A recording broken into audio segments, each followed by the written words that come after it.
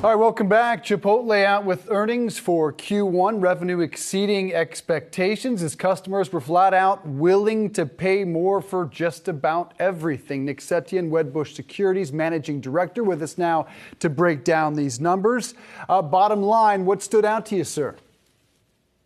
Well, the comp, first of all, uh, and the guidance for Q2, right? 10 to 12% for Q2 after beating on the comp uh, in Q1 versus a a 9% expectation in Q2. Um, so, you know, at the midpoint, we're two percentage points above uh, consensus. Um, now, you know, the, the, the margins are is, what everyone's going to be focused on in terms of the commentary around Q2, uh, whether they're going to be able to take enough pricing, incremental pricing from here to offset the incremental food, food inflation we're seeing from here, especially post Ukraine. So that's really what the focus is going to be on on the call. We didn't get any incremental information around margins uh, on go forward margins in the press release. And that's going to be the key. That'll determine whether the stock is up from here or, or might even be, that you know, or might even open down tomorrow, depending on the margin commentary was down 5% uh, on the day, but has risen in after hours trading. Chipotle paying a 24 year high for avocados, but today they say they're paying more for beef, paper, labor. How much of this are they able to pass on to consumers?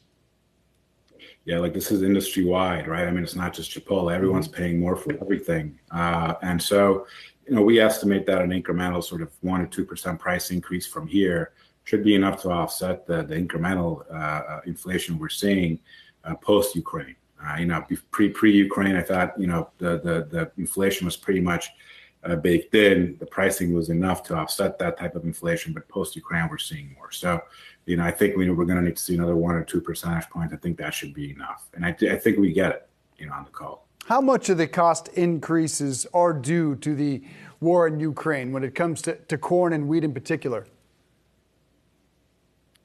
Yeah, corn, wheat, um, that's 100%, uh, you know, due to Ukraine. And so, especially over the last, say, you know, three to three, three weeks to four weeks, uh, and and obviously that's something that's that's an important you know part of of, of what Chipotle's cost of, of, of goods are. So, um, you know that it, it, it is you know the, the new reality. Everyone has to deal with it.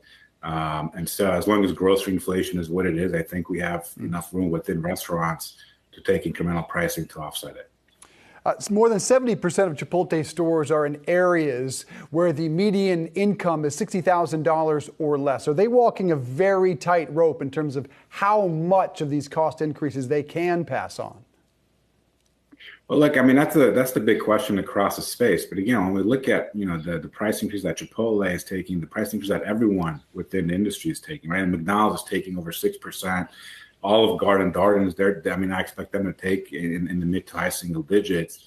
Um, so everyone's taking these price increases, and grocery inflation is up, you know, 10%. So when you're buying pasta at the grocery store and you're paying 50% to 100% higher than you were three months ago, you know, suddenly that 10% price increase at Chipotle doesn't look so bad. And so, um, you know, historically, that's what's really mattered uh, is the grocery inflation. And so as long as, um, you know, we have that type of a, of a, of a ceiling, which is 10% plus in terms of grocery, I think Chipotle's current price increases are doable. Obviously, the cost of labor has increased, and Chipotle does some innovative things to, to try to address that. They're experimenting with a autonomous kitchen assistant that they call Chippy that could make uh, tortilla chips. They've invested 50 million in Cultivate Next, which invests in innovative restaurant technology. How much is Chipotle uh, willing to innovate to, to solve tomorrow's challenges? Well, bottom line is there's just not enough uh, employees uh, to satisfy everyone's needs, um, and so technology is going to have to be a big part of the solution. Uh, and so, uh, you know, Chipotle, McDonald's, Jack in the Box, I mean, you name it, everyone's looking at technological solutions uh, for for that need. Uh, and so, I think it's going to be a big big part of capital expenditures and, and research and development going forward for Chipotle and for you know everyone in, within the restaurant space. Uh, it's not something that we're going to see benefit the, the bottom line in the next you know quarter or two, but it's certainly something that we're looking to, you know, over the next two to three years. So McDonald's and Domino's report Thursday. We'll see if this has any bearing on their earnings. Thank you, sir. Nick Setyan from Wedbush Securities, uh, Managing Director. Thank you.